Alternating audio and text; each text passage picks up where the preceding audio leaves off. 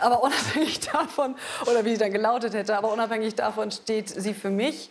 Ähm, eher für, es wurde ja gerade schon angedeutet, für mutlose oder auch etwas richtungs nicht weisende Zeiten. Für viele Leute steht sie aber leider für sehr schlechte Zeiten. Wenn ich da an Menschen denke, die sehr, sehr wenig verdienen, zum Beispiel in diesem Land, obwohl wir ja so reich sind. Oder wenn ich an Menschen denke, die in Krisengebieten leben und die äh, mit Panzerlieferungen überschüttet werden von Deutschland, dann würde ich sagen, sind es sehr schlechte Zeiten.